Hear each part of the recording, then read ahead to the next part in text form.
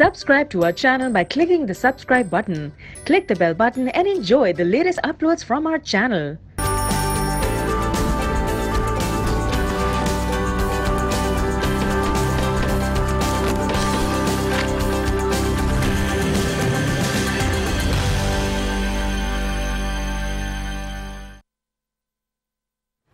अस्सलाम वालेकुम good morning आज के साथ। मैं हूँ सबाशी। और मैं हूँ अनम काजमी। उम्मीद करते हैं आप सब बिल्कुल ठीक ठाक होंगे खैरियत से होंगे मज़े में होंगे टिप टॉप होंगे और अपनी लाइफ को भरपूर तरीके से एंजॉय करें अच्छा जी शो का बाकायदा आगाज़ करने से पहले आपको लिए चलते हैं रिसालपुर एकेडमी जहाँ पर पीएएफ की पासिंग आउट परेड जारी है। इतनी है। सबा तुम्हारे ऐसे देख सकते हैं P F Asghar Khan academy में पासिंग आउट परेड की तकरीब जारी है। आप देख सकते हैं आज की स्क्रीन पर ये मनाजिर है। यहाँ पर आला हुकाम भी मौजूद हैं, जबकि रिक्रूट्स भी यहाँ पर मौजूद है। पासिंग आउट परेड इस वक्त जारी है।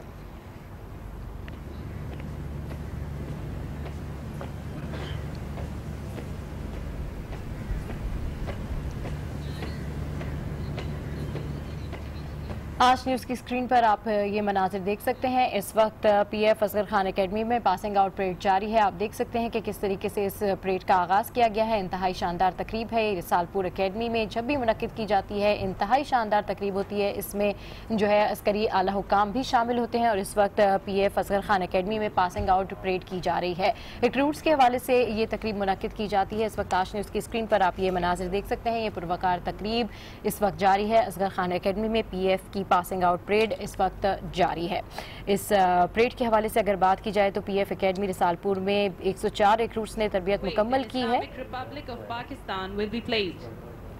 All are requested to rise and join the parade for the national anthems. All those in uniform are to salute.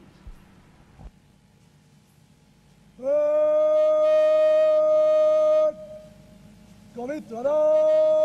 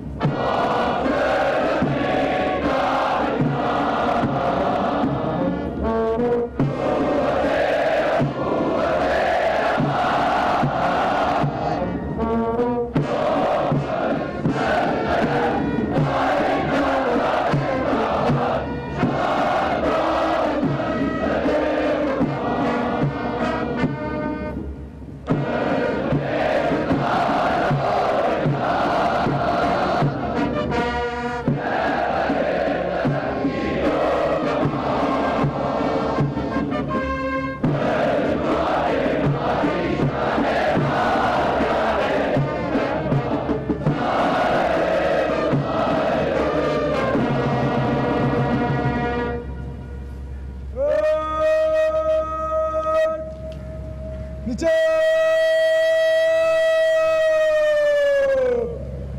Fong.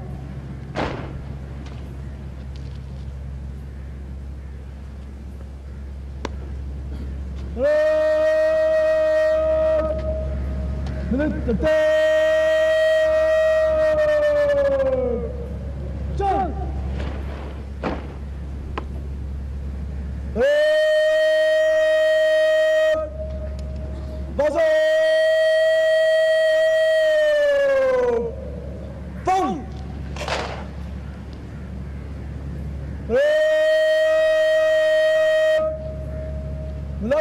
लाजा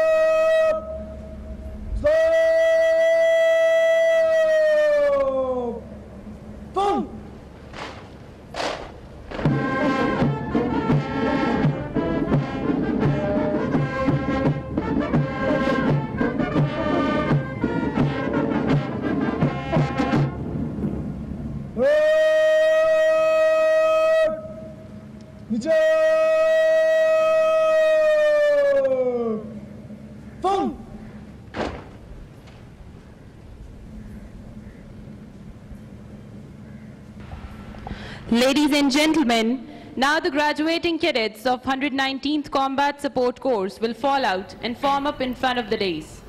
PF Asghar Khan academy में पासिंग आउट परेड की तकरीब जारी है। आपको बताएँ कि major general Abdullah Yaqub Jasim तकरीब के मेहमान खसूसी होंगे, जबकि एक सौ उन्नीसवा पासिंग आउट परेड है ये, और इस परेड की खास बात यह है कि कोई फिजाइया के बारह कैडेट्स भी इसमें पास होंगे। आप देख सकते हैं, आज न्यूज़ की स्क्रीन पर यह पुरवकार मनाजिर है, पासिंग आउट परेड रिसालपुर के, जो कि हमेशा से ही की जाती है और इंतहाई जोश और जज्बे के साथ की जाती है। यहाँ पर मुख्तलिफ़ दस्ते होते हैं जो परेड करते हैं, सलामी करते हैं और रिक्रूट्स होते हैं, जो कि यहाँ पर पास आउट हो रहते हैं। तो पीएफ में, रिसालपुर एकेडमी में इंतहाई पुरवकार तकरीब जो है इस वक्त जारी है और रिक्रूट्स जो है वो पास आउट हो रहे हैं साथ साथ दस्ते सलामी भी दे रहे हैं। और इसके अलावा जो है, इसके जो मेहमान खसूसी हैं, वो होंगे major general Abdullah Yaqub Jasim. इस तकरीब के मेहमान खसूसी होंगे और इस तकरीब के हवाले से हम आपको गाहे बगाहे अपडेट भी करते रहेंगे। बिल्कुल जनाब आगे बढ़ते हैं और अपने शो का बाकायदा तौर पर आगाज़ करते हैं। आज आठ मुहर्रम हराम है और आज के दिन के हवाले से अगर हम कुछ बातचीत करें तो इस वक्त मुख्तलिफ़ शहरों में मुख्तलिफ़ इलाकों में जो है जुलूस निकाला जा रहा है और उन जुलूस की निगरानी के लिए हमारी पुलिस के बहुत से अहलकार रेंजर्स के अहलकार तैनात किए गए हैं। सिक्योरिटी जो है वो इस वक्त हाई अलर्ट है। साथ ही साथ हमने देखा कि कल जो मुख्तलिफ़ इमाम बारगाहों के भी दौरे किए गए हैं और जो मेयर कराची हैं उन्होंने इनका जायज़ा भी लिया और ओवरऑल जाना कि किस तरह की वहाँ पर सिक्योरिटी सूरत हाल है। और इस बात को यकीनी बनाने की कोशिश की कि किसी किस्म की तकलीफ़ से जो है वो अजादारों को ना गुजरना पड़े। साथ ही साथ हमने देखा कि जो जो रूट्स हैं जहाँ जहाँ से जलूस गुजरना है, उनकी भी सफ़ाई के इंतज़ाम किए गए। और आज कहा जा रहा है कि आज मोबाइल फ़ोन सर्विस जिन जिन इलाकों में जलूस निकलेगा, वहाँ बंद कर दी जाएगी। ट्रैफ़िक के लिए जो मुख्तलिफ़ रूट्स हैं, वो भी बता दिए गए हैं। और साथ ही साथ डबल सवारी पर भी पाबंदी लगा दी गई है। तो मुख्तलिफ़ प्लान जो है, वो आज के दिन के हवाले से किए जा रहे हैं। मुख्तलिफ़ शहरों में क्या कुछ सूरत हाल होगी, ये तो हम आगे चलकर जानेंगे। इसके अलावा कुछ आज दीगर स्टोरीज जिनके बारे में हम ज़िक्र करेंगे, उसमें कराची में पेश आने वाले एक वाक़े के हवाले से कुछ बातचीत की जाएगी। गुलिस्तानी जौहर में हम देख रहे हैं कि दिन दिहाड़े लड़कियों को निशाना बनाया जा रहा है, जवान खातन हैं जिनको चाकू के बार से जख्मी किया जा रहा है और वो ऐसी हालत के अंदर अस्पतालों में मौजूद हैं, जहाँ पर उन्हें टांके लगाए जा रहे हैं। ये कौन है जिसको छलावा कहा जा रहा है? ये कौन शख्स है जो इस तरह खातन को निशाना बना रहा है क्या मकासद है उसकी क्या नफसियाती कोई प्रॉब्लम है? अभी मैं देख रही थी कि जो हमारे आ, कराची के यानी सिंध के जो वज़ीर दाखिला हैं सुहेल अनवर सयाल उन्होंने भी ये कहा है कि हमारी पूरी कोशिश है कि हम जल्द अज जल्द मुलजिम को गिरफ़्तार कर लें। लेकिन ये शख्स कौन है? इसके क्या मकासद है? इस तरह की कार्रवाइयाँ क्यों हो रही हैं? और अभी तक हमारी पुलिस क्यों खामोश दिखाई दे रही है? क्यों अभी तक मुलजिम को गिरफ़्तार नहीं किया गया? इस हवाले से भी साथ शो में बातचीत की जाएगी। उसके साथ साथ आ, कुछ हॉकी के हवाले से भी आपको बताएँ कि हॉकी में हॉकी जैसे कि हमारा एक कौमी खेल है इसके अलावा कुछ नेशनल गेम्स के हवाले से हम देख रहे थे कि पाकिस्तान में कोयटा के अंदर जो है ये गेम्स होने चाहिए थे लेकिन फंड्स की कमी की वजह से हमने देखा कि ये भी पोस्टपोन हो गया और अब कहा जा रहा है कि नवंबर के अंदर ये होगा। तो ये फंड्स की कमी क्यों हो रही है? इस सब पर भी आज के शो में हम बात करेंगे। बिल्कुल आज के शो में बहुत कुछ है और बहुत मेन लीड है और जो मेन खबर है वो यही खबर है कि मुहर्रम के हवाले से सिक्योरिटी के सख्त इंतज़ाम किए गए हैं और साथ साथ आई जी सिंह देडी ख्वाजा ने भी और सुहेल अनवर हम्म। सयाल ने भी जाकर तमाम इमाम बारगों इमाम बारगाहों का और तमाम जगहों का जायजा लिया है और मोबाइल फ़ोन सर्विस के हवाले से भी कहा जा रहा है कि पी टी ए ने बहुत मिसबत जवाब दिया है और नौ और दस मुहरम हराम को ये सर्विस जो है वो बंद रहेंगी। तो पूरे मुल्क में जो है एक सिक्योरिटी की सी सूरत हाल है। और दूसरी अगर खबर के बारे में बात करेंगे तो नैब के चेयरमैन के हवाले से, उसकी तब्दीली के हवाले से काफ़ी बातें की जा रही हैं, जिसमें पीटीआई को काफ़ी तहफ़ात हैं। और अगर हम लोकल स्टोरीज़ के हवाले से बात करें सोशल स्टोरीज़ के हवाले से बात करें तो डेफिनेटली जैसे कि गुलिस्तान जौहर में ये वाक़ पेश आया है, गुलिस्तान जौहर में लड़कियों के साथ अब तक सात जो है वो रिपोर्ट हो चुके हैं इंसिडेंट जिसमें इस तरीके के वाक़ पेश आ रहा है। तो इसके ऊपर बात करेंगे आज के शो में और मज़ीद भी खबरों को शो का हिस्सा बनाएँगे। साथ साथ आपको पी एफ़ रिसालपुर अकेडमी के हवाले से भी अपडेट करेंगे। शो में अभी जो है वो नज़र डाल लेते हैं आज की टॉप स्टोरीज पर। ये ऐसे आ सकता है? पुलिस वाले ये चीज़ें लेके आता है। जिसम को कैद खाना कैद खाना ना रहा। कैद खाने में आजादाना माहौल, जो चाहे करो, कोई पूछने वाला नहीं। जेल कैदी चलाते रहे, कलदम तंजीम बनाते रहे। कराची सेंट्रल जेल में बद इंतजामी की मजीद हदें कैसे अबूर हुई? कैदी ताजों की वीडियो ने नए इंकशाफात कर दिए।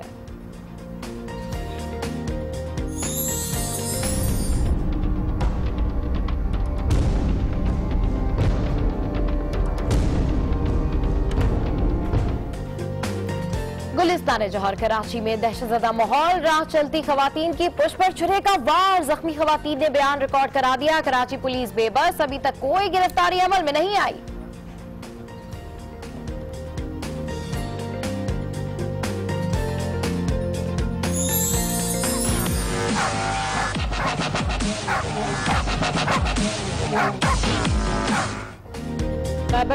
खैबर ने अभी डेंगू के डंग से जान न छुड़ाई थी कि कुत्तों ने जहर अफशानी शुरू कर दी। आवारा कुत्तों का पागलपन हद से तजावज कर गया। महकमा सेहत ने साल की दूसरी सहमाही रिपोर्ट में उन्नीस हज़ार से जायद सगजीदी के वाकत रिपोर्ट होने की तस्दीक कर दी।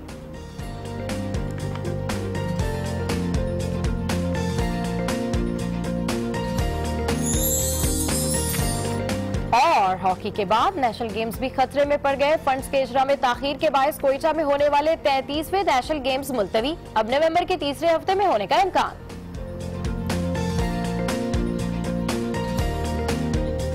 ये सब स्टोरीज हम आगे चलकर देखेंगे, पर पहले नज़र डालेंगे आज के अखबार की हेडलाइंस पर।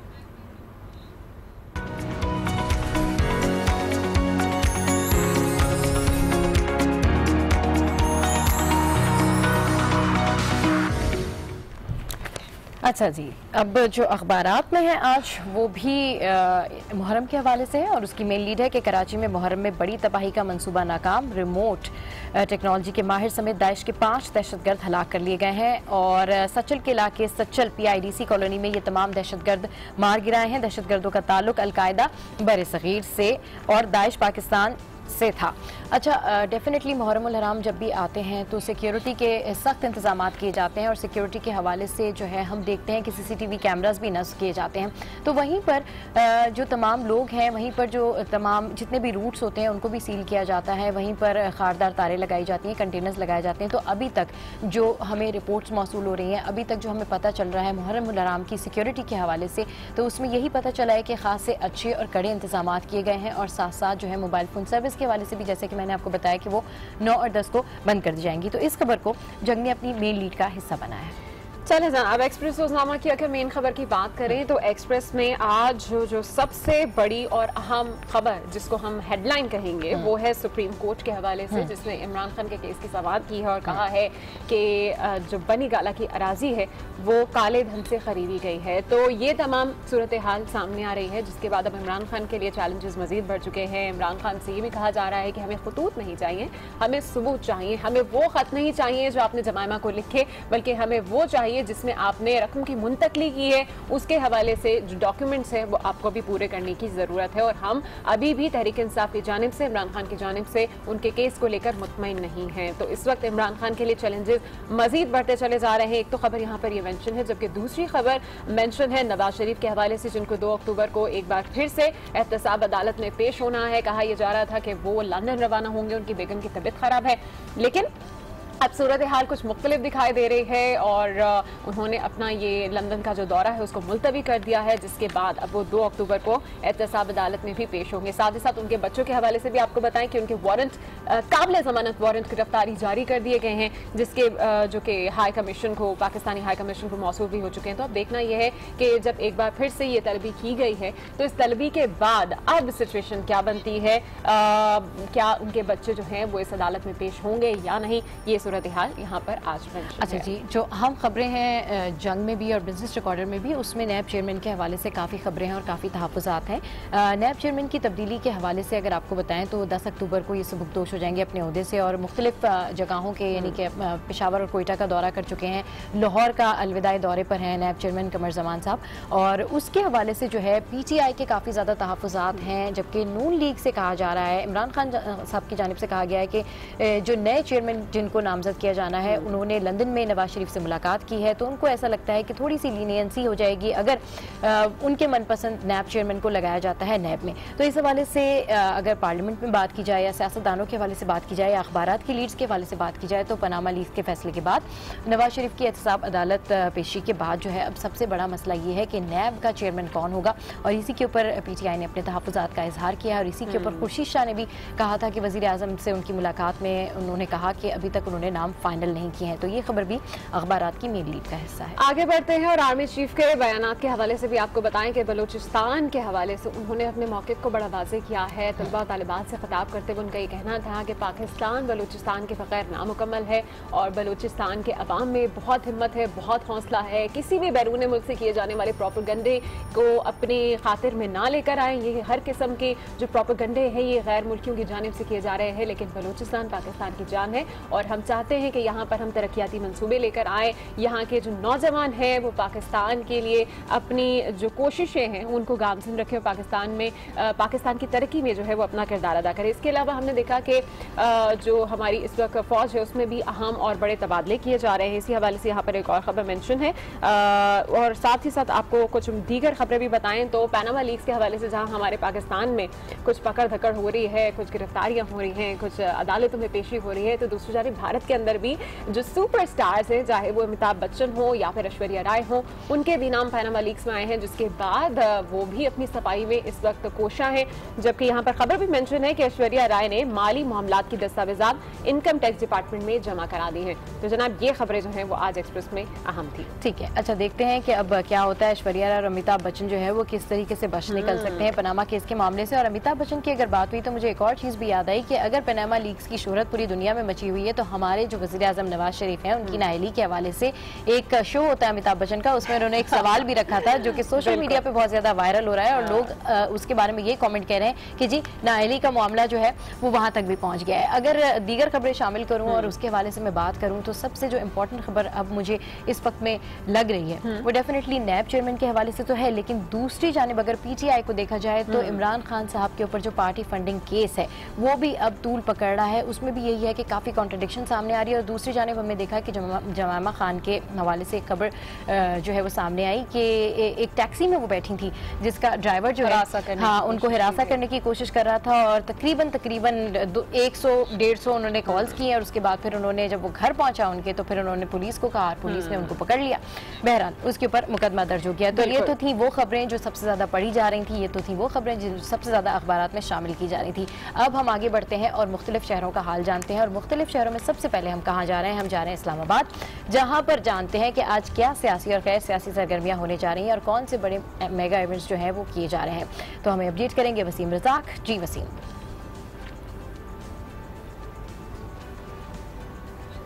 वसीम, आप तक हमारी आवाज़ पहुँच रही है? जी बिल्कुल आ, जी। आज मुहर्रम आठवीं मुहर्रम हराम है और आठवीं मुहर्रम हराम की मुनासबत से आज सब जो मरकजी जुलूस है वो जी नाइन कराची कंपनी से बरामद होगा। अलमरतज़ा इमाम बारगाह से जुलूस बरामद होगा और जुलूस जो है अपने मुकर्रा रास्तों से होता हुआ अलमरतज़ा इमाम बारगाह पर इमाम बारगाह पर ही वापस अख्ताम पजीर भी होगा। इस हवाले से सिक्योरिटी के इंतहाई सख्त इंतज़ाम किए गए हैं। पुलिस और रेंजर्स के जो दस्ते हैं वो जुलूस के जो रूट होंगे उस पर तैनात किए गए हैं। इसके साथ साथ जुलूस के, जो शुरा है जो मातवी संगत होती है उसके उनकी जानब से भी भी सिक्योरिटी के इंतज़ाम किए गए हैं इसके साथ साथ वॉक थ्रू गेट्स जुलूस में शामिल होने वालों के लिए वॉक थ्रू गेट्स नस्ब किए गए हैं और सख्त सिक्योरिटी के बाद ही तमाम लोगों को जुलूस में शामिल होने की इजाज़त जो है वो दी जाएगी। ये जुलूस जो है असर के वक्त बरामद होगा और ये शाम तक ये जुलूस जारी रहेगा। अगर हम बात करें वफाकी दार हुकूमत में दीगर जो है एक्टिविटीज़ हैं उनके हवाले से आज सुप्रीम कोर्ट में मुकदमा की समात होगी। इलेक्शन कमीशन में भी कुछ मुकदमात की समात होगी। इसके साथ साथ सरदार मसूद कश्मीर के आज़ाद कश्मीर के जो प्रेजिडेंट है वो आज अहम प्रेस कॉन्फ्रेंस करेंगे। इसके साथ साथ सियासी माहौल क्योंकि अब गर्म है अपोजिशन लीडर के हवाले से आसफ अली जरदारी या इस्लामाबाद में मौजूद हैं और मुख्तलिफ़ लोगों से वो मुलाकातें करेंगे और आइंदा का जो लाहे अमल है। इस हवाले से भी आज वो मुशावरत करेंगे क्योंकि पाकिस्तान तहरीक इंसाफ और एमपीएम कर रहे थे शहर इकतदार से क्या क्या एक्टिविटीज़ हो रही है ये तो हमने जाना। अब रुक कर लेते हैं लाहौर का जहाँ पर हमारे नुमाइंदे तारिक खान मौजूद हैं उनसे जानते हैं कि आज लाहौर शहर में आठ मुहर्रम के हवाले से कौन कौन से जुलूस निकल रहे हैं मरकजी जुलूस कहाँ से निकलेंगे और कब तक इख्ताम पजीर होंगे? जी तारिक खान अपडेट कीजिएगा। हराम के हवाले से, क्योंकि कल और नौ और दस मुहर्रम है, जिसमें ज़्यादातर जुलूस निकलते हैं, लेकिन आठ मुहर्रम आज है और आज भी जो, और इस हवाले से ताज़ियती जुलूस हैं, वो निकलेगा, जो जो मोरी गेट से शुरू होगा और उसका आखिर जो है वो खैमा सादात है। ये सारा रूट जो है, अगर जो लाहौर के रहायशी हैं और जो बाहर से आते हैं, उनको पता होगा कि जो अनारकली ये पुरानी और नई है। इसके दरमियान में से, ये बाज़ार के दरमियान में से ये रूस निकलता हुआ खामा सादात पहुँचता है। तो इस हवाले से जो है, ये रूट्स को जो है बाकायदा चेकिंग किया गया है। स्नैपर्स तैनात किए गए हैं और इनकी जो खुरा सुराग रसा कुत्ते हैं, उनकी मदद से भी इनको चेक किया गया है। सिक्योरिटी के एहलकार जो हैं, उनको भी तैनात कर दिया गया है। और वॉक थ्रू गेट्स लगाए, क्योंकि ये माल रोड क्रॉस करके खैमा सादात जाता है। पुरानी अनारकली से नई अनारकली में एंटर होने के जो माल रोड है, उससे गुजरना पड़ता है। जो जिस वक्त जुलूस आएगा, उस वक्त ये माल रोड जो है, वो कुछ देर के लिए बंद कर दिया जाएगा, ताकि वो जुलूस यहाँ से गुजर जाए। उसके बाद ही ये जुलूस वहाँ पहुँचे और ये तकरीबन जुलूस जो है मगरब के वक्त में किसी वक्त वहाँ पहुँचेगा और उसके बाद ये अख्ताम पजीर होगा। अगर हम लाहौर के हवाले से, अगर देखें नौ दस के मुहर्रम हवाले से तो उस हवाले से भी खसूसी तौर पर जो है इंतज़ाम कर लिए गए तकरीबन छः हज़ार से ज़्यादा सिक्योरिटी फोर्सेज जो हैं, वो तैनात की गई हैं। स्नैपर्स तैनात किए गए हैं। चेकिंग का सिलसिला जो है वो वो तेज़ किया गया है। पुलिस जो है वो वो तकरीबन तमाम जो रूट्स हैं उसके इर्द गिर्द जितने भी अमारात हैं जितने भी रहायशी लोग हैं उनसे पूछ गिछ कर रही है। कोई नए मेहमान आपके पास तो नहीं आके ठहरे या आ, कुछ दिन पहले तो नहीं ठहरे इस हवाले से भी जो चेकिंग है वो खूबी की जा रही है, है ताकि किसी किस्म का जो वाक़ है वो रोनुमा ना हो सी कैमरे जो हैं उनको दोबारा से असर नो तकलीफ़ दिया गया है। उनकी मॉनिटरिंग की जा रही है कि आया ये एक काम कैमरे जो हैं वो काम ठीक कर रहे हैं, इसके अलावा जो आज़ादार हैं उनके जो अच्छा तारिक खान बिल्कुल आप सिक्योरिटी के हवाले से अपडेट करें। सिक्योरिटी के खासे सख्त इंतज़ाम किए गए हैं। ये बताएँ कि सिक्योरिटी के हवाले से जो फ़र्स्ट एड के लिए होता है या मेडिकल जो कैंप्स हैं वो कायम किए गए हैं? क्योंकि मेडिकल कैंप जो हैं वो ज़रूर होते हैं डबल वन डबल टू की जो सर्विस है वो मोबाइल सर्विस जो है वो उनके साथ होती है जबकि आज़ादार जो हुसैनी ट्रस्ट हैं उनके जो मेडिकल के रिप्रेजेंटेटिव हैं वो डॉक्टर्स और वो भी साथ होते हैं जैसे ही किसी आज़ादार को जो जंजीर जनी करते हैं उनको अगर ज़्यादा इस हवाले से चोटें आ जाएँ और उनकी हालत गैर तो उन्हें फौरी तौर पर तिबी इमदाद भी दी जाती है और जो कम आज़ादार जिनको चोटें आती हैं बात जब वो जंजीर जनी करते हैं तो वो जख्म तो ज़रूर आते हैं उनको फौरी तौर पर तिबी इमदाद के लिए जो डिस्पेंसर्स हैं वो उनके साथ मौजूद होते हैं और साथ एम्बुलेंसेज भी होती हैं लेकिन नौ दस मुहर्रम में ज़रा इसको मजीद बढ़ा दिया जाता है क्योंकि आज आठ मुहर्रम है इसमें भी उनके हवाले से डिस्पेंसर और, डबल वन डबल टू की सहूलियत जो है वो मैसर होती है। बहुत शुक्रिया आप हमें अपडेट कर रहे थे तारिक खान और लाहौर के हवाले से तो हमने जाना कहाँ का रूट है इस वक्त आपको खबर देंगे फैसलाबाद से जहाँ पर समंदरी रोड पर ट्रैक्टर ट्रॉली और मुसाफिर वैन में तसादम हुआ है और हादसे में पाँच अफराद जहाँ और पाँच जख्मी हो गए। हैं। मजीद जानते हैं आज न्यूज़ के नुमाइंदे अजीम शहजाद से। अजीम शहजाद हमारे साथ लाइन पर मौजूद अभी हैं? नहीं अजीम शहजाद नहीं, मेरा ख्याल है अभी मौजूद नहीं इंतहा अफसोसनाक खबर से हम हम आपको आगाह कर रहे हैं और ये खबर है फैसलाबाद से जहाँ समंदरी रोड पर ट्रैक्टर ट्रॉली और मुसाफिर वैन में तसादम हुआ है। हादसे में पाँच अफरा जहाँ भाग हो गए और पाँच जख्मी हो गए हैं। इंतहा अफसोसनाक खबर है। इसके हवाले से जैसे ही मजीद अपडेट्स आएँगी जख्मियों की हालत के हवाले से जैसे ही पता चलेगा हम आपको आगाह करेंगे। गुड मॉर्निंग आज में यहाँ वक्त हुआ एक ब्रेक का कहीं जाएगा मैं don't go anywhere stay with us keep watching good morning Aaj. Thank you.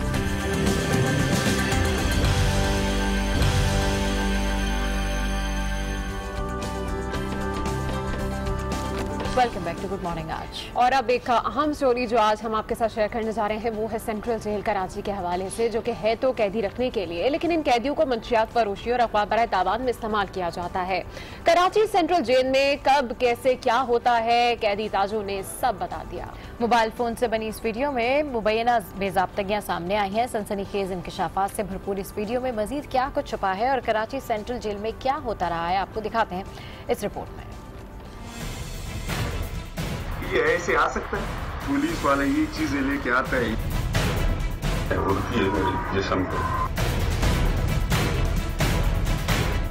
कैद खाना कैद खाना ना रहा। कैद खाने में आज़ाद माहौल। जो चाहे करो, कोई पूछने वाला नहीं। जेल कैदी चलाते रहे, कलदम तंजीमें बनाते रहे। मुनिशात फरोशी अगवा बराए तवान कराते रहे। और रखवाले सब अच्छा की रिपोर्ट बनाते रहे। जेल में बद इंतजामी की मजीद हदें कैसे अबूर हुई, इस वीडियो ने नए इनकशफात कर दिए। अगर पुलिस मिला नहीं है, करप्शन ये लोग नहीं करते, ये तो अंदर आ सकते हैदराबाद में अलग लोग पाउडर बेचता है। इसाक में वार्ड में अलग बेचता है, उसका जेलर अलग है। बी क्लास में अलग बेचता है।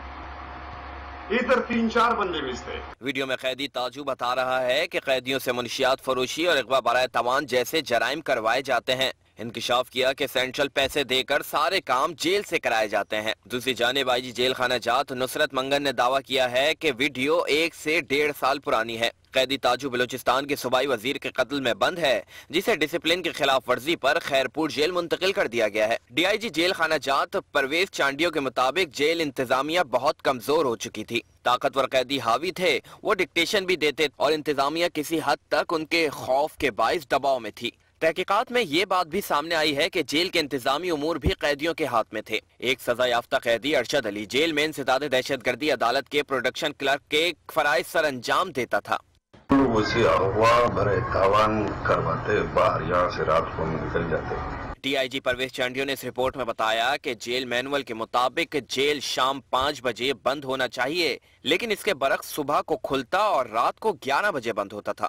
संगीन जराय में मुलवस, मुलजिमान, दहशत गर्दों को नमाज़ और तरावी के नाम पर आज़ादी दी गई थी, जबकि दूसरी जानब जेल में इससे पहले मजीद बद इंतजामी के वाकयात खबरों की जीनत बने, जिसमें संगीन यह है कि जेल में कलदम तंजीम के गिरफ़्तार दहशत गर्द दाइश के लिए भर्तियाँ करते रहे। कल आदम तंजीम के तकरीबन तीस मुलजिमान आलमी दहशत गर्द तंजीम में शमूलियत अख्तियार कर चुके हैं। कैदियों और पुलिस के दरमियान दोस्ताना माहौल, इंतहाई संगीन मुकदमात में मुलवस दो मुलजिमान के फरार होने में मददगार साबित हुआ। सात सात आठ आठ करोड़ का आप लोगों ने वो लगाया जामर लगाया लेकिन जाम क्यों नहीं होता? है ये कौन करवाता है? ये हमारे जेल वाले करवाते हैं जामर को स्लो कर देता है। रिलीज़ के टाइम पे अगले को बता देते हैं अगर आपने पाँच दस हज़ार दिया तो आपका कोई नहीं अपने कार में या एंबुलेंस में बैठा के आपको ले जाता है।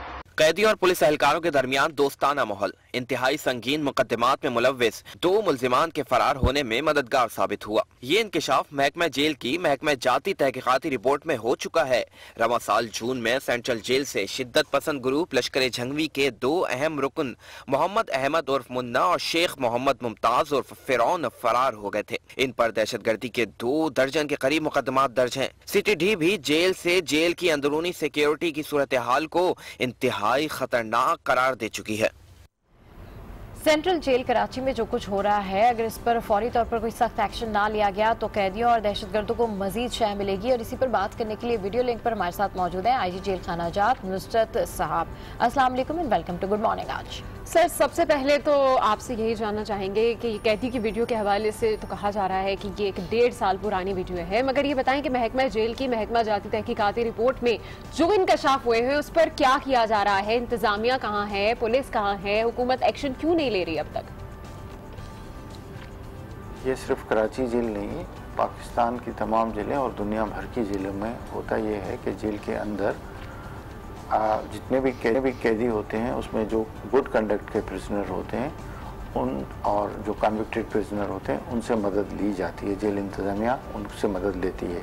और हमारे पाकिस्तान प्रिजन रूल के तहत ये है कि हम तीन कैटेगरी के के प्रिजनर्स होते हैं एक कहलाते हैं C N W convict night watch उनसे भी हम मदद लेते हैं। उसके अलावा सीन पोश होते हैं और जवाबदार होते हैं। ये वो कैटेगरीज हैं जो ऑफिशियली डेजिग्नेशन कैदी का बनता है। अगर उस वो पहले अपॉइंट होता है नंबरदार फिर उसकी प्रमोशन होती है फिर तो ये सारी ड्यूटीज़ वो बाय लॉ कर रहे होते हैं।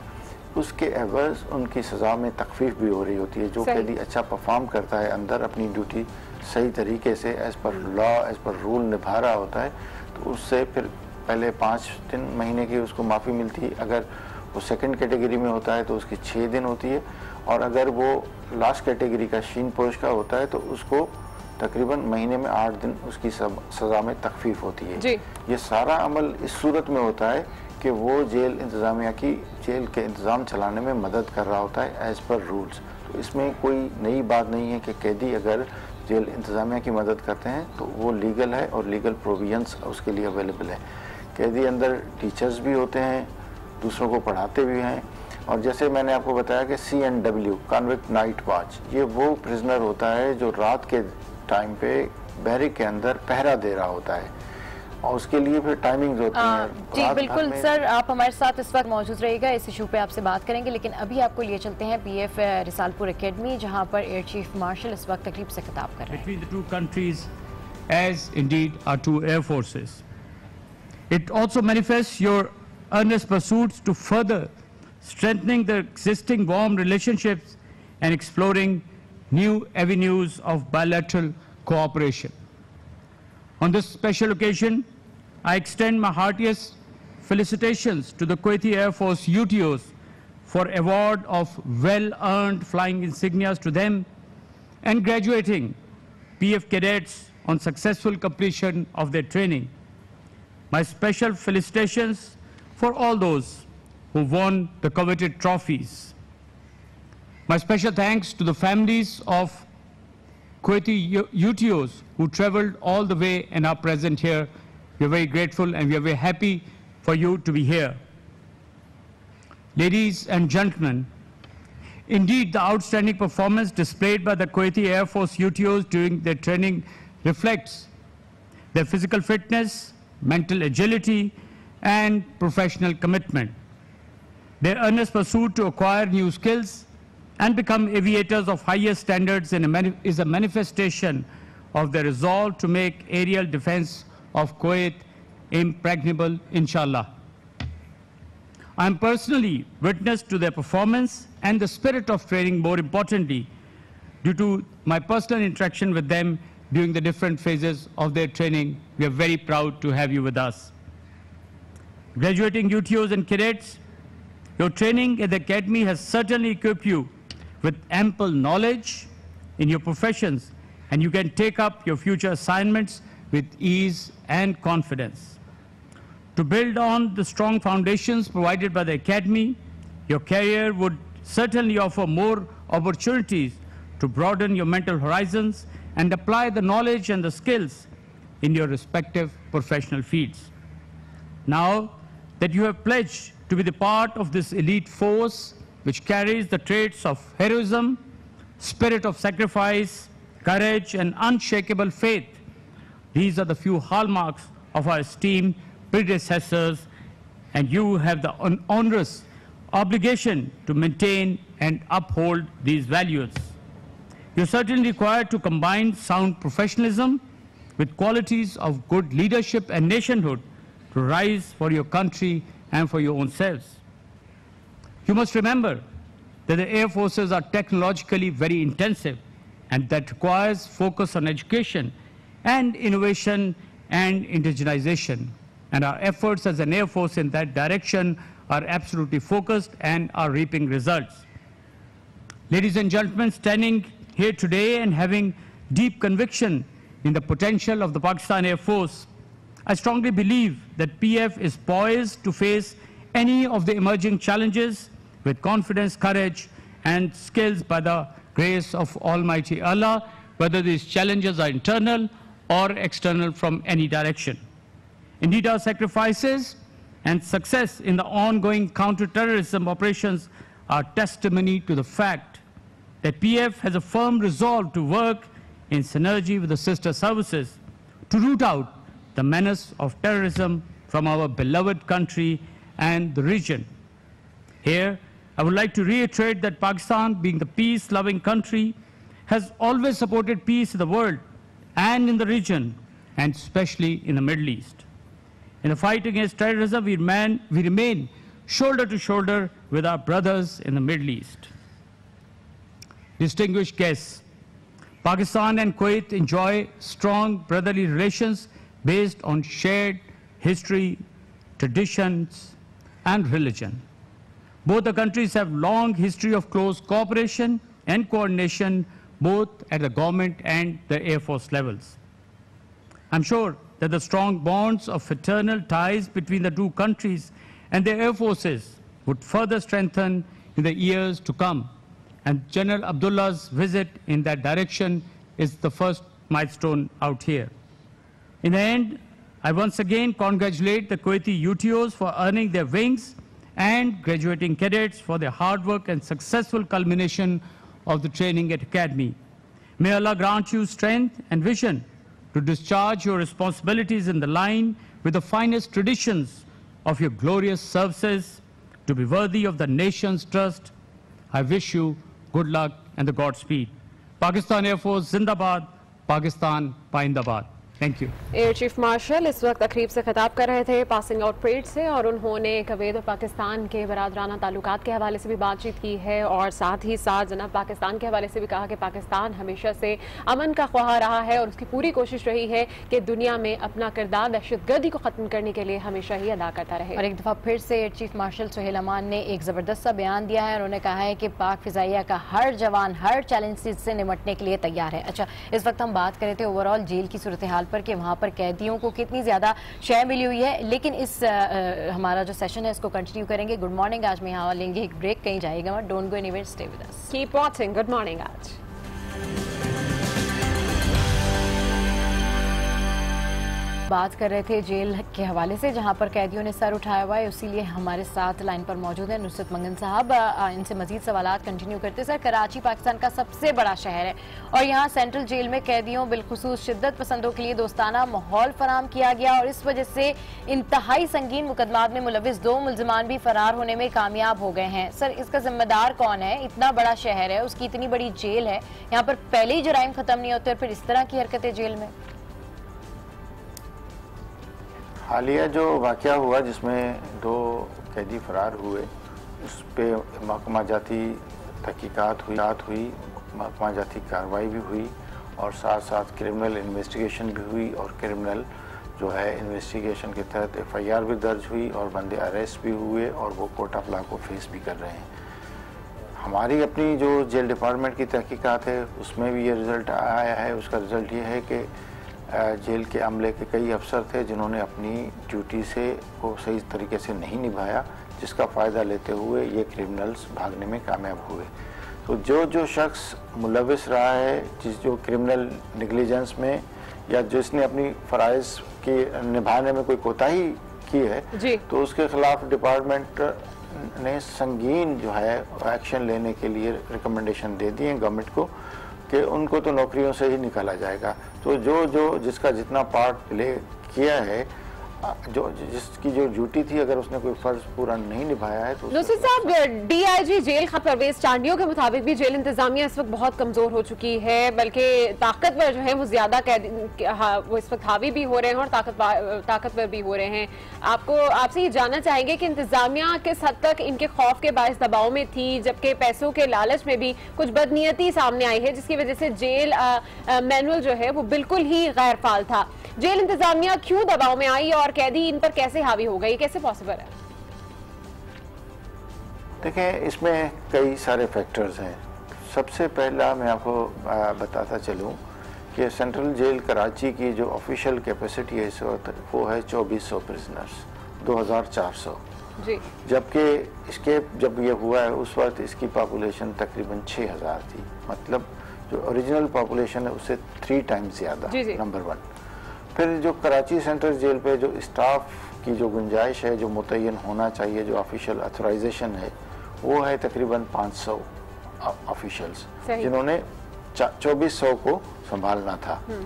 अब 2400 की जगह कैदी तो हो गए 6000 स्टाफ 500 की जगह पे 250 तो ज़ाहिर है वो प्रोपोर्शनेट नहीं है। तो इस वजह से जब आप अंडर स्टाफ हों तो फिर उसमें आपकी मैनेजमेंट में इश्यूज़ आते हैं।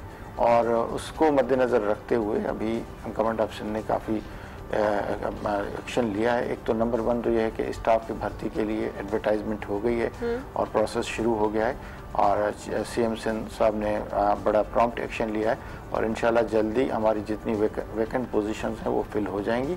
स्टाफ हमारा पूरा हो जाएगा। और दूसरे नंबर पर गवर्नमेंट ने यह भी डिसीज़न लिया कि यहाँ से जो ख़तरनाक कैदी हैं वो अंदरूनी से मुख्तलिफ़ जेलों में मुंतकिल किए जाएँ जिसके नतीजे में तकरीबन 100 से ज़्यादा प्रिजनर शिफ्ट हो चुके हैं और कुछ शायद मजीद और भी होंगे। तो लिहाजा एक तरफ़ तो हम जो जो थ्रेट परसेप्शन है उसको भी कम कर रहे हैं और अपनी स्ट्रेंथ को सर बिल्कुल एक तरफ़ पर कैदियों को शय मिली हुई है वहीं पर आपने इंतहाई हैरान कन बात हमें बताई है कि पुलिस की तादाद जो है वो कम है और कैदियों की तादाद बढ़ती जा रही है। उस शहर में जहाँ पर लॉ एंड ऑर्डर की सिचुएशन पहले ही खराब रहती है जहाँ पर पहले ही आए दिन जो है वो हालात खराब हो जाते हैं और उसमें पुलिस एहलकारों की इतनी कम नफरी इसकी वजह क्या सामने आई है? देखें ये सिलसिला आज अचानक से तो खैर नहीं हुआ है। कराची ऑपरेशन की वजह से जेल पे बोझ बढ़ा। पहले तकरीबन जेल की पॉपुलेशन चार हज़ार के करीब हुआ करती थी फोर थाउज़ेंड प्लस लेकिन कराची ऑपरेशन के बाद ये इसकी ज़रा वो बढ़ा। और उसका नतीजा खैर ये भी निकला कि आप देखें, कराची में अभी अमन हुआ। कि क्योंकि जितने भी कराची शहर के क्रिमिनल से अच्छा नुसरत साहब आप जो सनसनकशाफात सामने आ रहे हैं क्या समझते हैं आप इनकी तहकीकात कब तक होंगी क्या कार्रवाई की जाएगी और कैसी कार्रवाई होगी ये? कैदी फरार हो रहे हैं कौन रोकेगा इन सब चीज़ों को? पुलिस कहाँ है इस वक्त?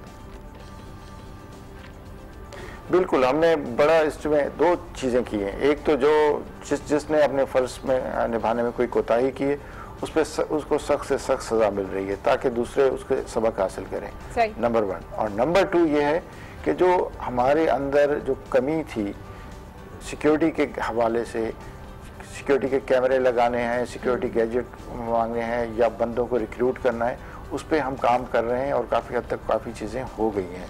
तो दो तरह से हो रहा है। एक तो हम अपनी एफिशिएंसी को अपने चीज़ों को भी इम्प्रूव कर रहे हैं और दूसरा जिन्होंने नालाकी की है उनको भी सख्त सजाएँ दे रहे हैं। ठीक है आई खाना चाहत नुसरत मंगल साहब हमसे बात कर रहे थे और जहाँ हम बात कर रहे थे कैदियों के हवाले से वहाँ उन्होंने हमें ये खबर भी सुनाई कि जी पुलिस की नफरी कम है तो मैं कहती हूँ इसके ऊपर वजी अला सिंध को गुड मॉर्निंग आज के प्लेटफॉर्म से और सिंध हुकूमत को थोड़ा जागना चाहिए कि कैदी ज़्यादा हो रहे हैं और आपके पास पुलिस कम है। ये वो पुलिस है जिसके बारे में आए दिन कहा जाता है कि जी इनके जो है तनख्वाह में इजाफा किया जा रहा है इनकी वर्दी के ऊपर काम हो रहा है लेकिन मेरे ख्याल में रिक्रूटमेंट्स पे भी काम करना बहुत ज़्यादा ज़रूरी है। तो आई होप कि गुड मॉर्निंग आज के प्लेटफॉर्म से सिंध हुकूमत ज़रूर जागेगी और इसके ऊपर भी नोटिस लेगी। गुड मॉर्निंग आज में यहाँ वक्त एक ब्रेक का। कहीं जाएगा मैं don't go anywhere stay with us keep watching good morning Aaj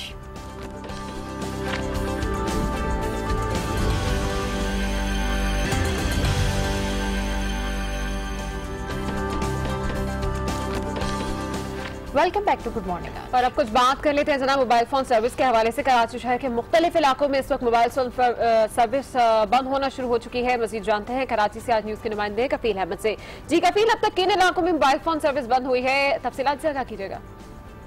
Sindh की जानब से जो है वो इस बात से सिफारिश की गई थी कि जुलूस की गुजरगाह जो होगी और उसके अतराफ में जो है वो मोबाइल सर्विस को जो है वो ऑफ़ किया जाएगा आठ मुहर्रम हराम को। तो हम इस वक्त जो है वो शहर के मुख्तलिफ़ इलाकों में जो है वो मोबाइल सर्विस जो जो सर्विस है वो मुकम्मल तौर पर मअतल हो गई है। इसमें Tariq road, Saddar P I B colony, Jamshed road, Nagabad north Karachi Shadman town समेत जितने भी एरियाज़ हैं इस वक्त जो है वो मअतल की गई और मैं आपको बताऊँ कि जुलूस जो आठ मुहरम हराम, नौ मुहरम हराम और दस मुहरम हराम को जो जुलूस होगा, उसमें मोबाइल सर्विस जो है, उसको मअतल किया जाएगा। अच्छा कफील ये बताइएगा कि किस टाइम तक के लिए मोबाइल फ़ोन सर्विस मअतल की गई है? शाम तक खुल जाएगी? क्या टाइम दिया है?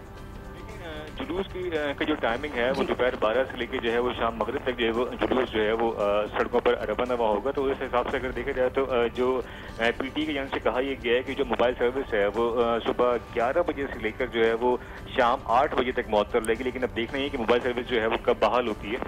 आठ बजे का ऑफिशियल टाइम दिया गया ठीक है आठ बजे का ऑफिशियल टाइम दिया गया दिया गया है। कफील अहमद हमें अपडेट कर रहे थे। इस हवाले से आपका बहुत शुक्रिया। आगे बढ़ते हैं और मुख्तलिफ़ स्टोरीज पर भी कुछ बातचीत करेंगे जिसमें अब हम बात करने जा रहे हैं कराची में पेश आने वाले वाक़े के हवाले से भी आज एक अहम इशू है जिसके ऊपर हम बात करेंगे। और डेफिनेटली कराची के इलाके गुलिस्तान जौहर में जैसे कि हम लोग देख रहे हैं कि एक छुरा ग्रुप खौफ की अलामत बन गया है। गुजशत रोज़ भी बारह साल बच्ची अ, और एक खातून को उसके छुरे का वार जो है करके जख्मी कर दिया, जिसके बाद मुतासर खातन की तादाद छह से भी जायद हो गई और इस वक्त हम देख रहे हैं कि एक खौफ हरास इलाके में फैल चुकी है। अहल खाना भी मुकदमा दर्ज कराने से गुरेज कर रहे हैं। जी हाँ बिल्कुल। अहल खाना मुकदमा दर्ज कराने से गुरेज कर रहे हैं। इंतहाई अफसोसनाक वाक़ ये गुलिस्तानी जौहर में पेश आ रहा है, जिसके लिए कहा जा रहा है सिक्योरिटी एहलकार की जानब से कि जो भी कसूरवार हैं, उनको पकड़ लिया जाएगा।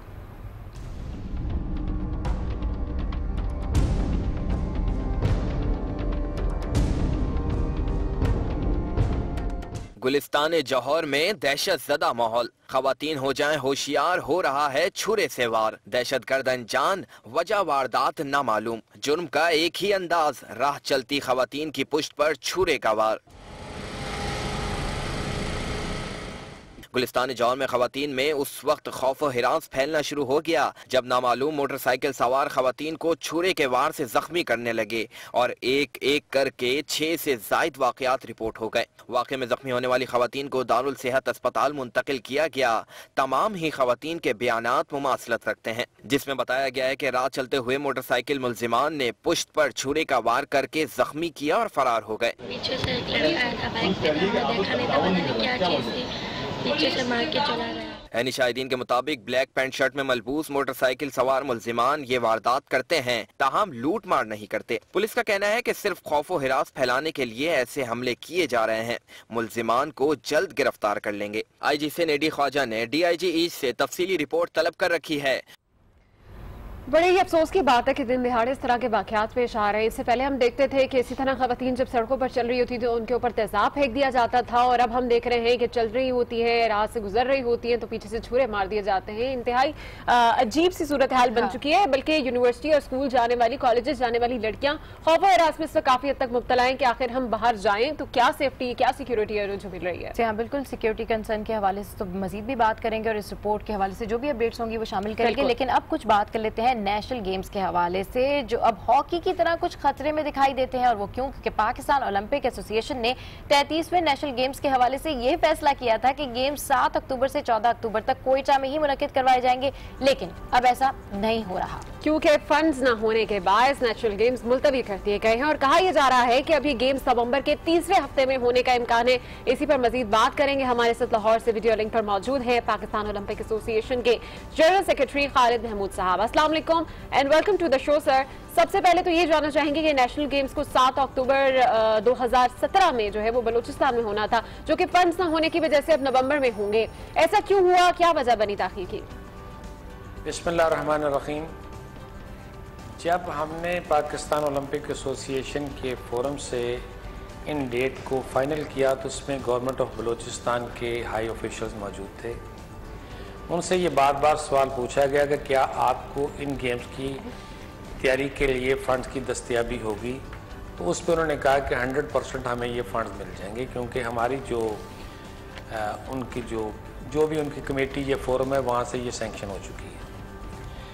उसके बाद हमने फिर एक मीटिंग वहाँ की कोयटा में जहाँ फिर गवर्नमेंट ऑफ़ बलूचिस्तान के स्पोर्ट्स डिपार्टमेंट इस बात का अदा किया कि हमें फ़ंड जो हैं वो सेंक्शन हो चुके हैं लेकिन इनकी रिलीज़ में कुछ तखीर है। इसके बावजूद भी हम ये यकीन से कह सकते हैं कि ये गेम ज़रूर हो जाए बाद उनकी तरफ़ से ये उज़र आया कि अभी तक चीफ मिनिस्टर ऑफ़ पाक, पाकिस्तान चूँकि मुल्क से बाहर चीफ मिनिस्टर ऑफ़ बलोचिस्तान जो है मुल्क से बाहर चले गए तो इसलिए इनका रिलीज़ होना अभी मुमकिन नहीं है। और अगर ये रिलीज़ हुए तो इतने दिन कम रह गए कि हम अपने वेन्यू को जो है ना वो उसकी प्रेपरेशन और रेनोवेशन का काम नहीं कर सकें। जी। इसमें तखीर की क्या वजह थी? क्या इसका ज़िम्मेदार गवर्नमेंट ऑफ़ बलूचिस्तान का फिनेंस डिपार्टमेंट है स्पोर्ट्स डिपार्टमेंट है या चीफ मिनिस्टर सेक्रेटेरिएट है या दीगर कोई बैरोक्रेटिक प्रॉब्लम्स हैं? लेकिन फाइनली ये बात हतमी निकली कि फ़ंड्स की रिलीज़ उनको चंद दिन पहले हुई है जिसकी बना पर यह गेम तखीर का शिकार होगी सही। हमने इन गेम्स को फिर भी तमाम स्टेक होल्डर से टेलीफोन पर रबता करके इस बात से एग्री किया कि आप इन गेम को जल्द अज जल्द जब भी करवा सकते हैं, इनको करवा दें। जिस पे गवर्नमेंट ऑफ़ बलोचिस्तान के मिनिस्टर ने प्रेसिडेंट पीओ से बात की फ़ोन पे कि आप इसको तीसरे हफ़्ते में नवंबर में इसका इनका कर दें। जिस पे एक टेंटेटिव डेट जो है वो पाकिस्तान ओलंपिक एसोसिएशन ने 18 से 26 नवंबर की दी है। और फाइनली अभी हमारी चीफ मिनिस्टर के साथ भी बातचीत होना है। और हाँ अपनी जनरल काउंसिल की जो है वो भी मीटिंग करनी है। और होपफुली कि ये गेम सर, बिल्कुल आप कह रहे हैं, बड़ी हैरान कन बात है, ये नेशनल गेम है, हमारा नेशनल गेम हॉकी भी है, जो जबूहाली का शिकार है, हम टेनिस पे भी पैसे नहीं लगाते, हम बॉक्सिंग पे भी पैसे नहीं लगाते, बाहर से आमिर खान आते हैं और बॉक्सेस के लिए कुछ करते हैं, बड़ी हैरान कन बात है। अगर इसी तरीके से होता रहा, सर तो फिर नेशनल गेम्स तो जबूहाली का शिकार रहेंगे। कौन पूछेगा, कौन किस तरीके से टैलेंट को सामने लेके आएगा पाकिस्तान का? देखिए, मेरा ख्याल में पाकिस्तान हॉकी का अगर ये क्लेम है कि इस गेम्स की जो तबाही है, वो पैसा ना होने की बना पे है तो मैं तो इससे इतफाक नहीं करता। अगर आप हॉकी के फंड्स का अंदाज़ा लगाएँ जो गवर्नमेंट ऑफ़ पाकिस्तान ने इनको रिलीज़ किया है तो हमारी जो चौंतीस फेडरेशन हैं हॉकी के अलावा अगर इन तमाम का टोटल फंड जो है उसको मिला लिया जाए तो मेरे ख्याल में हॉकी को ज़्यादा फाइनेंशियल सपोर्ट की गई है। जी। लेकिन इसके बावजूद हॉकी अभी अपनी उस लेवल पे नहीं आई जहाँ हमारा मुकाम था ये उस तरफ़ अभी गामजन नहीं हुई। अगर आप हॉकी को को रिलेट करते हैं नेशनल गेम्स के साथ तो मेरा ख्याल में ये को रिलेशन दुरुस्त नहीं है। नेशनल गेम्स तखीर का शिकार हुई, इसकी एक बहुत बड़ी वजह, जहाँ माशी मुश्किल थी, उसके साथ साथ हम ये चाहते थे कि ये गेम्स हर सूरत में कोयटा में हों, बलूचिस्तान में हों, एक कौमी यकजहती के लिए और पूरी दुनिया को मैसेज देने के लिए कि कोयटा में हम इस बड़े कौमी इवेंट का इनका कर सकते हैं। सही। वहाँ सिक्योरिटी इशूज़ रहे दीगर एडमिनिस्ट्रेटिव प्रॉब्लम रहे इस बना पे हम मिलजुल के वो हुकूमत बलूचिस्तान थी पाकिस्तान ओलंपिक एसोसिएशन थी या दीगर सिक्योरिटी इदारे थे हमने हर सूरत में यही फैसला किया कि जब भी अगर तखीर से भी हों तो इनका इनका कोयटा में ही होगा। और इन मैं उम्मीद रखता हूँ कि ये गेम्स कोयटा में होंगी। जहाँ तक नेशनल गेम्स के सेटअप का तल्लक है तो हमने इस पर बड़ी गौर खोज के बाद अगले सेटअप में इसका जो है वो चेंज करने की कोशिश की है इसके निज़ाम को। तो हम ये नया निज़ाम लाने की कोशिश करेंगे। जी। अगर इसको जनरल काउंसिल ने अप्रूव किया जो कि हमारे प्रेसिडेंट पाकिस्तान ओलंपिक एसोसिएशन की ये तजवीज़ है कि हम इसको चारों सूबाई क्वार्टर्स पे पाँच पाँच छः छः का इनका करेंगे। क्लोजिंग और ओपनिंग सरमनी के लिए एक एक शहर का रोटेशन पे जो है इंतखब करेंगे और प्राइवेट सेक्टर को इन्वॉल्व करके। या हमारे दीगर जो अदारे हैं जिनमें पाकिस्तान आर्मी है या वापडा है इनको इन्वॉल्व करके हम नेशनल गेम्स को बाकायद किसी बिल्कुल ठीक। खालिद साहब ये भी एतराजात उठाए जा रहे हैं कि जब आगे अब नवंबर में हम करवाने जाएँगे तो शायद तब भी ठंड इतनी ज़्यादा होगी कि ये मुलतवी हो जाए। तो आपको नहीं लगता बार बार इन गेम्स को मुलतवी करने से इस गेम की अफादियत को भी नुकसान पहुँच रहा है? साथ ही साथ इंटरनेशनल सतह पर भी पाकिस्तान के ओलंपिक्स में शमूलियत पर सवाल उठेगा। देखिए नेशनल गेम का पाकिस्तान को ओलंपिक में शमूलियत का तो कोई आपस में तल्लक नहीं है। क्योंकि जो ओलंपिक्स है, उसमें क्वालिफिकेशन की बना पे या वाइल्ड कार्ड पे फेडरेशन के थ्रू लोग जाते हैं। नेशनल गेम्स और ओलंपिक गेम्स का बरह रास्त आपस में कोई तल्लक नहीं है। हाँ अलबत् ये बात ज़रूर है कि नेशनल गेम्स अगर दो साल के बाद नहीं होती तो इनकी अफादियत वाकई एक सवाल है, जिसके लिए मैंने अपने आपके पिछले सवाल के जवाब में अर्ज़ किया है कि हम एक नया मॉडल लाने की कोशिश कर रहे हैं कि नेशनल गेम्स को इस तरीके से जो है वो करवाया जाए कि ना किसी एक सूबे पे इसका बोझ हो और ना इसको करवाने में कुछ ज़्यादा दुशारी हो माशी तौर पे और इंतज़ामी तौर पे और ये बाकायदा दो साल के बाद बाकायदगी से इनका सर वही सभी अनम पूछ रही थी आपसे। मेरा भी वही सवाल है बिल्कुल कि खुदा खुदा करके अब फंड्स रिलीज़ हुए हैं तो नवंबर तक बात पहुँच गई और नवंबर में होती है शदीद ठंड। तो अब ये कहा जा रहा है कि गेम्स फिर से ताखिर का शिकार हो सकते हैं तो तारीख आगे बढ़ जाएगी। इसकी क्या वजह है कि गेम बार बार ताखिर का शिकार हो रहे हैं? इंतजामिया की गफलत है या फिर वाकई ठंड की वजह से ऐसा हो रहा है? और जो प्लेयर्स हैं जो इस गेम में हिस्सा लेने वाले पार्टिसिपेंट हैं उनका मुराल भी बहुत डाउन हो रहा है। मेरे ख्याल में जी जो जो स्टेक होल्डर्स हैं जिसमें पार्टिसिपेटिंग यूनिट्स हैं या जिसमें नेशनल स्पोर्ट्स फेडरेशन हैं गवर्नमेंट ऑफ़ बलोचिस्तान है पाकिस्तान ओलंपिक एसोसिएशन है बलोचिस्तान ओलंपिक एसोसिएशन है सिक्योरिटी जो डिपार्टमेंट्स हैं कोयटा में बलोचिस्तान में मेरा ख्याल ये सारे एक पेज पे हैं कि नवंबर में गेम्स हो सकती अच्छा, हैं। जब पहली मरतबा हुकूमत बलोचिस्तान ने और बलोचिस्तान ओलंपिक एसोसिएशन ने 2012 में इन गेमों को करवाने के लिए उनको फ्लैग दिया गया। तो जो पहली डेट्स उन्होंने हमें प्रपोज की थी वो नवंबर 2014 की थी। सही। तो मैं समझता हूँ कि अगर ये 2012 में बगैर किसी और सोच के नवंबर का महीना जो है वो प्रपोज किया जा सकता है तो शायद ये मुमकिन होगा कि हम नवंबर में गेम का इनका करवा सकें और पाकिस्तान ओलंपिक एसोसिएशन अच्छा खालिद साहब ये कि इस वक्त हम देख रहे हैं कि फंड्स की किल्लत की वजह से इन गेम्स को आगे किया जा रहा है तो पाकिस्तानी हुकूमत से मदद क्यों नहीं ली जा रही? और अगर मदद मांगी भी जा रही है तो पाकिस्तानी हुकूमत इस सिलसिले में क्या किसी किस्म का ताउन नहीं कर रही? देखिए दो चीज़ें हैं। जहाँ तक तो गेम्स को करवाने का मामला है तो इसकी जो ऑपरेशनल कॉस्ट है या एडमिनिस्ट्रेशन कॉस्ट है वो इतनी ज़्यादा नहीं होती। डेवोल्यूशन के बाद, सूबों के पास फंड्स की कमी नहीं है। बलूचिस्तान हुकूमत के पास भी फंड्स की कमी नहीं है। इनफैक्ट सूबों में नेशनल गेम देने का तस्वर और इसकी बैकग्राउंड ये थी कि जब भी कोई सूबा इन खेलों का इनका करे तो वहाँ की गवर्नमेंट उनको इतने पैसे दे कि उनका इंफ्रास्ट्रक्चर जो है वो नया भी बन सके और जो पुराना है उसकी रेनोवेशन और रिपेयर भी हो सके। बिल्कुल ठीक। तो जो बुनियादी तौर पे जिन पैसों की रिलीज़ नहीं हो सकी थी पिछले हफ़्ते तक वो हम्म। थे वो फंड जो वहाँ की वेन्यूज़ की रेनोवेशन के लिए थे और वहाँ की वेन्यूज़ की नई कंस्ट्रक्शन के लिए थे। तो मेरा ख्याल में बलूचिस्तान गवर्नमेंट के पास फंड्स की कमी नहीं थी। अभी जिन्होंने फंड्स सेंक्शन किए हैं वो बड़ी ख़तीर रकम है और अगर गवर्नमेंट ऑफ़ बलूचिस्तान चाहे तो वो मदद हासिल कर सकती है फेडरल गवर्नमेंट की। लेकिन मेरा ख्याल में अब फेडरल गवर्नमेंट के पास सपोर्ट्स के फंड उतने बहुत शुक्रिया खालिद साहब आप हमारे साथ थे और इस अहम मौजू के ऊपर बातचीत कर रहे थे। अब उम्मीद करते हैं कि जो हम्म। नवंबर में तारीख दी जा रही है तब ये गेम्स हो जाए नेशनल गेम्स है। कहीं ये हॉकी की तरह ये भी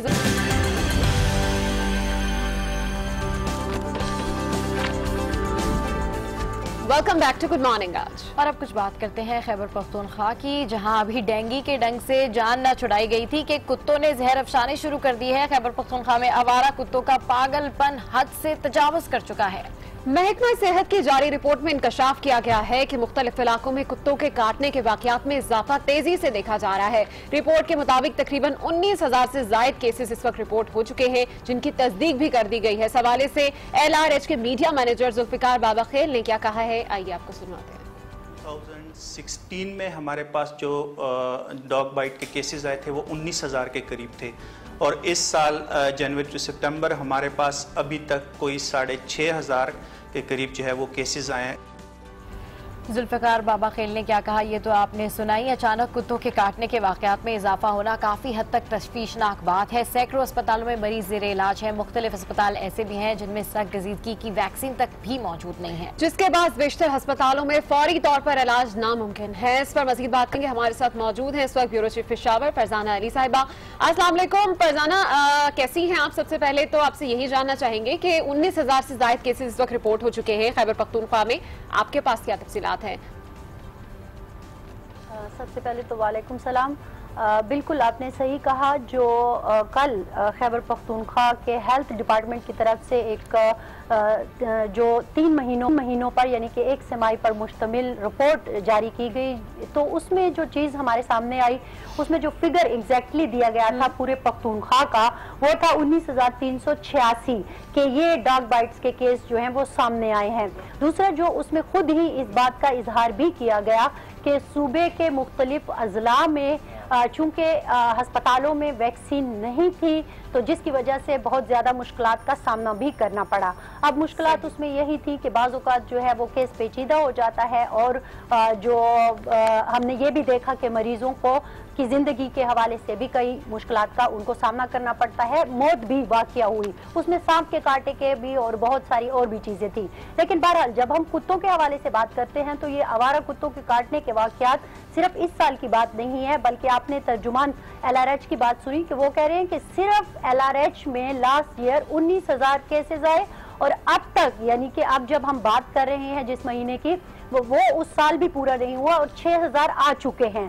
तो इस हवाले से जो है हम देख रहे हैं कि केसेस में न सिर्फ़ इजाफा हो रहा है बल्कि वो वैक्सीन का इशू भी है। खैर पेशावर में अगर हम बात करते हैं तो वो लेडी रीडिंग के चूँकि तर्जुमान थे। लेडी रीडिंग और दो बड़े अस्पताल और हैं K T H Hayatabad medical complex वहाँ पे तो कोई इशू नहीं है। इन सारी चीज़ों का बर वक्त इलाज भी हो जाता है, वैक्सीन भी मिल जाती है, लेकिन जो मामला खराब होता है, वो दूसरे अजला का होता है या दूर अवदादा इलाकों में होता है। और आपको पता है कि ज़्यादातर मसाइल वहाँ पे ही इस किस्म के होते हैं, जिसकी वजह से इतना बड़ा फिगर जो है, वो हमारे सामने आ गया। अच्छा बिल्कुल सही कह रही है फरजाना। इससे पहले हम देख रहे थे कि चूहों के काटने से 2013 में कैंपेन चल रही थी, लोग एडमिट हो रहे थे, फिर उसके बाद डेंगू आ गया। और अब ये कुत्तों वाला मामला की जी, डॉग बाइट से लेडी रेडिंग अस्पताल में इतने लोग एडमिट हो रहे हैं केपी गवर्नमेंट कर क्या रही है, किस तरीके से इंतज़ाम किए जा रहे हैं, रोकथाम कौन करेगा?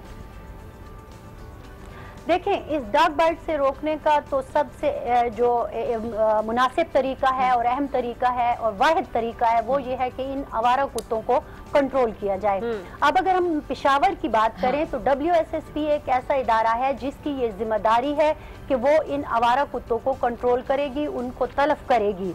अच्छा उसका क्या तरीका है? उसका ये है अगर मैं आपको पिछले ढाई साल के हवाले से उनका फिगर दूँ मेरी उनसे स्पोक्स पर्सन से बात हो रही थी तो उन्होंने कहा कि जी हमारा तो ये एक तरीकाकार है कि कोई आकर हमें शिकायत करता है कि हमारे इलाके में ये आवारा कुत्तों की तादाद जो है वो बढ़ रही है तो फिर हम वहाँ पे जाते हैं और उसका ये नहीं है कि हम उन्हें शूट कर देते हैं या इस तरह से कोई है, उसका एक तरीकाकार है। अच्छा वो तरीकाकार ये है कि ये नॉर्मली किसी चीज़ में दवाई डाल देते हैं जो कि उनकी मौत जिससे वाक़ हो जाती है और नॉर्मली ये कीमा ही यूज़ करते हैं। और उस वक्त पहले ऐलान भी किया जाता है इलाके में कि आप अपने जो पालतू जानवर हैं उनकी हिफाजत करें ताकि ऐसा ना हो कि ये वो खुराक अच्छा फरजाना तो अभी आप बात कर रही हैं कि कुत्तों को तल्फ कर दिया जाए। मतलब क्या सिर्फ़ यही तरीका है? आप इनके लिए कोई ऐसा इदारा आप नहीं समझती कि होना चाहिए जहाँ पर ऐसे कुत्तों को रखा जा सके। डेफिनेटली ये भी जानदार चीज़ें हैं। मार देना कोई हल है देखिए मार देने की जो बात की है आपने एक बड़ी दिलचस्प बात की है मुझे एक वाक्य याद आ रहा है कि हमारी ही कॉलोनी में हम्म। इस तरह हुआ कि कुत्तों की तादाद जब उस इलाके में ज़्यादा हो गई और पीछे से ज़ाहिर है गाँव है और ये सारा कुछ तो एक पढ़ा लिखा शख्स था उन्होंने डब्ल्यू एस एस पी को कॉल की और कहा कि इन कुत्तों को तल्फ करने का या यहाँ से हटाने का कोई तरीका अपनाएँ। उन्होंने यही तरीका अपनाया जो मैंने आपको बताया है कि पिछले ढाई साल में दस हज़ार कुत्ते वो तल्फ कर चुके हैं। तो वो तरीका उधर भी अपनाया। तो उस पर जो मस्जिद के जो मौलवी साहब थे उन्होंने उनके खिलाफ जुमे के खुतबे में बड़ी अजीब सी बात की उन्होंने कहा कि ये गुनाह का काम हो रहा है इस तरह से नहीं होना चाहिए। तो इससे जो माशरे में वो जो लोग होते हैं वो बहुत ज़्यादा डर जाते हैं। उनका भी यही ख्याल है जो आपने एक सवाल किया कि आप इसका कोई अल्टरनेट होना चाहिए। लेकिन फ़िलहाल जो डब्ल्यू एस एस पी के पास अल्टरनेट है और ये मैं आपको बता दूँ कि ये सिर्फ़ पिशावर की हद तक है। अगर हम अजला की बात करें वो जो हम एक आ, शिकायत वो खुद रिपोर्ट में भी की गई है कि वैक्सीन नहीं है। अब जहाँ वैक्सीन की फरामी नहीं है वहाँ अगर पिशावर से हटकर बड़े शहरों से हटकर बाहर जाया जाए तो वहाँ ऐसे इदारे भी नहीं है जो इन कुत्तों को तल्फ कर सके। आप चाहे जाए कि ये बात कर रही हैं कि जो बैरून मुल्क में होता है कि आके कुत्ते ले जाएँ और उनको कहीं रखें तो वो तो मेरा ख्याल में इस पे बड़ा टाइम लगेगा। चलिए फिर आप सही कह रही हैं कि डब्ल्यू के पास कोई अल्टरनेटिव भी नहीं है लेकिन फरजाना साहिबा पूरी दुनिया को हम क्या पैगाम दे रहे हैं कि हम कुत्तों की वैक्सीन में उनकी ख्याल रखने में हम इतनी नाकाम लोग हैं कि हम लोग कुत्तों को मार तो रहे हैं कि हमारे बच्चों को शहरियों को ना काटें लेकिन हम उनके लिए कोई जामे पॉलिसी नहीं बना रहे हम लोग कोई ऑल्टरनेटिव नहीं कर रहे वैक्सीन हमारी, क्या हम इतने नाकाम हैं? हमारी इंतजामिया इतनी नाकाम है कि वो कुत्तों को देख के जो है वो उनको वैक्सीन नहीं कर सकती है और फिर शहरी अपनी जगह अलग परेशान है। देखिए बस यही हमारी हुकूमतों की जो वो है नाअहलियाँ हैं या प्रॉपर प्लानिंग नहीं है जब वाकया हो जाता है आपने देखा वो जो चूहों का वाकया हुआ था जी, बिल्कुल जब वाकया हो हाँ, गया तो। उसके बाद मामला सामने आए मामला और फिर हुकूमत ने कहा कि अच्छा और अजीब अजीब किस्म के ये फिर ऐलानात भी करते हैं। उसमें आपने देखा कि जब वो चूहे के काटने के से लोग मरने शुरू हो गए तो इन्होंने कहा कि आप चूहा पकड़ के ले आए तो हम आपको पैसे देंगे पैसे इसी तरह फिर जब। डेंगी का वाकया आया हाँ। जब डेंगी का वाकया आया तो फिर लोगों में विचारों में ये एक मसला पैदा हो गया कि वो समझ रहे थे कि शायद डेंगी भी पकड़ के इनको फरजाना साहब यहाँ पर ये बात भी बहुत काबिल ज़िक्र है कि अगर परवेज खटक साहब सिक्योरिटी के लिए वहाँ पर केपी में कुत्ते ला सकते हैं और सिक्योरिटी कंसर्न के पेश नज़र वहाँ पर महँगे कुत्ते रख सकते हैं जो सुराग रसा कुत्ते होते हैं तो फिर कुत्तों की वैक्सीन के हवाले से पैसे क्यों नहीं खर्च किए जाते? ये भी एक क्वेश्चन है।